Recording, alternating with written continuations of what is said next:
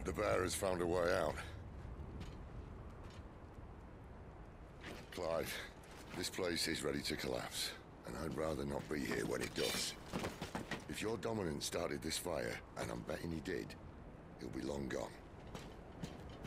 Damn it all.